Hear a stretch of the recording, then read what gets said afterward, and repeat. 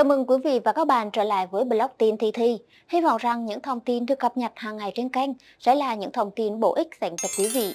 Đừng quên nhấn vào nút đăng ký ngay góc phải màn hình, chúng ta không bỏ lỡ bất kỳ thông tin nào. Sau đây thì xin mời quý vị và các bạn cùng đến với một bản tin nóng mới được cập nhật trong ngày.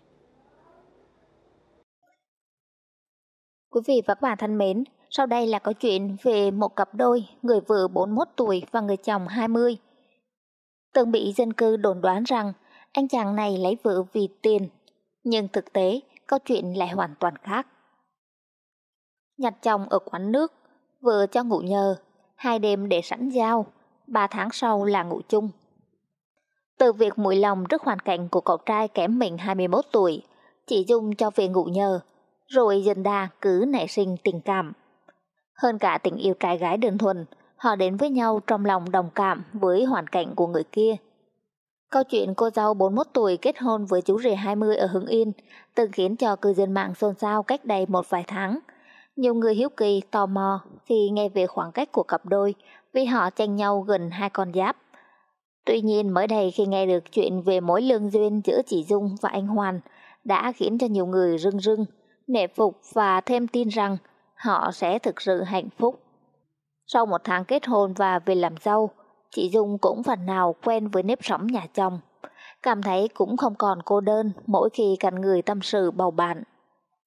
Tìm hiểu kỹ chị Dung vốn là người Phú Thọ, gia đình có 5 anh chị em, trong đó có người anh không được bình thường về trí não.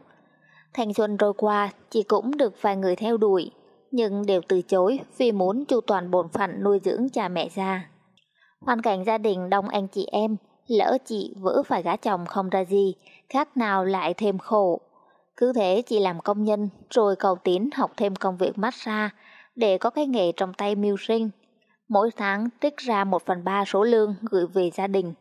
Người đời thường nói, những ai nặng gánh gia đình, thường truân chiên về tình cảm, quả chẳng không sai.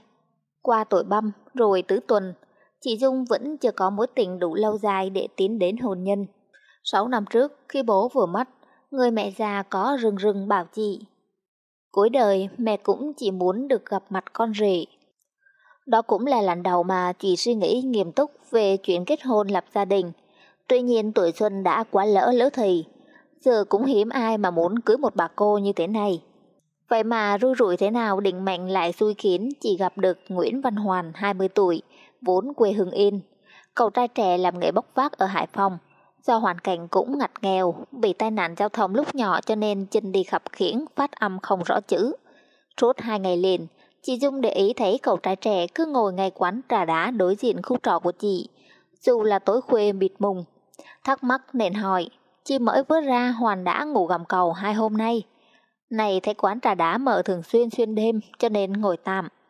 Thấy hoàn cảnh cậu em tội nghiệp nên cho ngủ nhờ.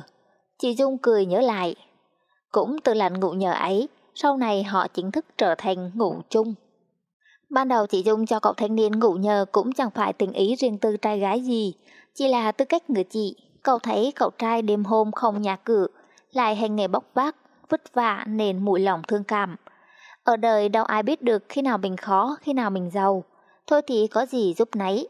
Cũng phải nói lại, bản thân chị Dung ở một mình nên việc cho người xa lạ vào ngủ nhờ cũng là rất gàn dạ và can đảm.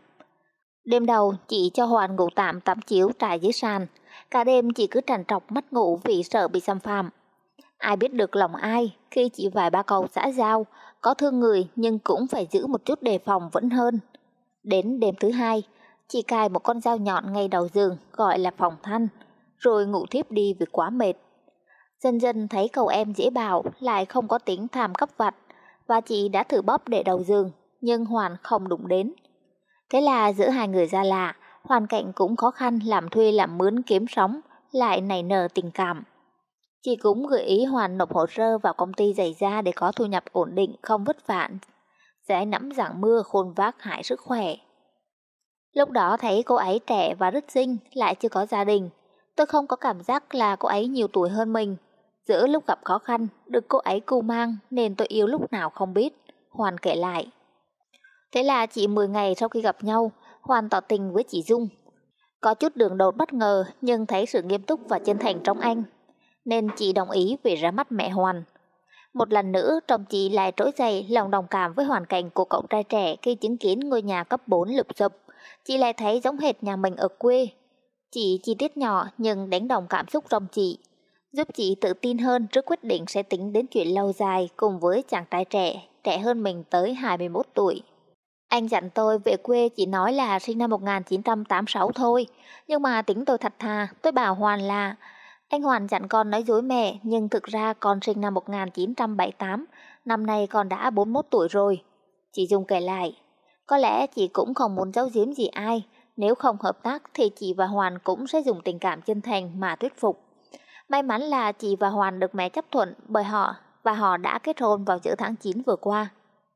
Bản tính thật thà, chăm chỉ, lại biết lo nghĩ cho gia đình nên chị Dung được lòng mẹ chồng. Nhìn vào cuộc hôn nhân lệch đến 21 tuổi, nhiều người cũng nói ra nói vào. Nhưng với bà Hương, 55 tuổi là mẹ chồng của chị Dung, lại cho rằng quan trọng là các con yêu thương biết bảo ban nhau làm ăn. Sau đám cưới thì nghe đàm tiếu về chuyện của mình, thời gian đầu chị Dung cũng buồn tuổi, suy nghĩ vẩn vơ. Tuy nhiên hạnh phúc nở muộn với người phụ nữ này, bởi người đời càng đàm tiếu, chị nghĩ thì chồng trẻ lại ra sức yêu thương và quan tâm chị hơn. Hồi đầu nghe họ nói tôi buồn và suy nghĩ nhiều lắm, nhưng mọi người càng dè bìu, chồng lại càng quan tâm yêu thương tôi nhiều hơn, nên tôi mặc kệ hết, chỉ dùng tâm sự. Hiện tại hai vợ chồng đang có công việc ổn định, Hoàn làm tại một xưởng inox gần nhà. Thu nhập thì khoảng tầm 4 triệu đồng trên tháng, còn chị Dung mở tiệm massage để kiếm đồng ra đồng vào. Họ dự định năm sau sẽ sinh con để vui nhà vui cửa, tổ ấm bắt đầu có thành viên mới. Ngắm nghĩ câu chuyện mà cây sống mũi bởi chị Dung anh Hoàn đến với nhau không chỉ đơn thuần là tình yêu trai gái, sâu hơn chính là tình người, sự mũi lòng khó quay mặt làm ngơ khi thấy có người hoàn cảnh túng thiếu, thì đến chỗ ngủ đàng hoàng cũng không có. Phải vượt phạ gầm cầu hay ngồi tạm quán nước thường xuyên. Và thời buổi này cũng thật hiếm có ai tin người và can đảm cho người lạ vào ngủ nhờ giống như chị Dung. Nhưng cũng nhờ chị làm việc tốt không chút toàn tính, nên cuối cùng đã có cái kết viên mãn như hôm nay. Câu chuyện của người phụ nữ này đã phần nào đánh động đến chúng ta về cách đối đãi đối với người có hoàn cảnh thiếu thốn quanh mình. Đôi khi những tin tức về lừa đảo, cướp, hiếp, nhàn nhàn trên các mặt báo cũng khiến cho chúng ta khép lòng, che chân và thà tránh đi còn hơn giúp đỡ rồi lãnh họa. Cũng không thể nói cực đoan nên ngoảnh mặt khi thấy người khó khăn, nhưng nếu giúp người khác bằng thật tâm, đối đãi bằng tình người cao thượng, thì tin rằng đến quỷ dữ cũng ít nhiều bị cảm phục. Cảm ơn quý vị và các bạn đã lắng nghe. Hy vọng rằng những thông tin vừa rồi thực sự hữu ích dành cho quý vị. Đừng quên nhấn vào nút đăng ký ngay góc phải màn hình để chúng ta nhận được thông báo mỗi khi có thông tin mới. Bây giờ chúng ta có thể nhắn tiếp vào đây và xem thêm một số thông tin khác. Chào tạm biệt và hẹn gặp lại quý vị trong những bản tin lần sau.